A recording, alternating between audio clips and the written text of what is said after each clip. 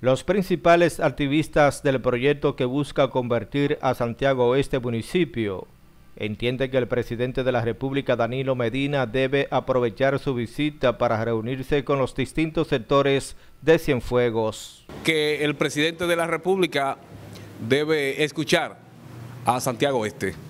El presidente viene a Santiago mañana con motivo del 172 aniversario de la batalla de Santiago fecha que sirvió o hecho que sirvió para consolidar la proclamada independencia de febrero de 1844 y es una fecha propicia para dialogar. Los comunitarios que mantienen la idea de que esa importante parte de Santiago debe convertirse en municipio manifiestan que el mandatario debe escuchar la propuesta.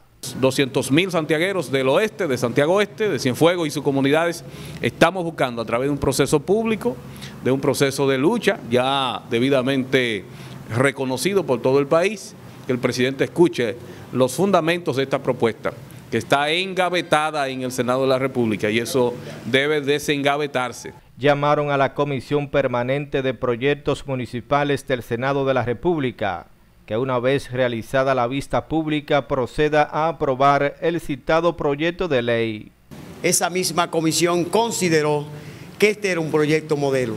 Lo sigue siendo y lo será una vez aprobado. Le demostraremos a la República Dominicana que todas esas aseveraciones que hacen en contra de este proyecto no son válidas. Aquí existe una realidad y nosotros somos los que trabajaremos esa realidad. El presidente Danilo Medina encabezará este miércoles los actos oficiales con motivo a la conmemoración del 172 aniversario de la batalla del 30 de marzo a partir de las 4 de la tarde.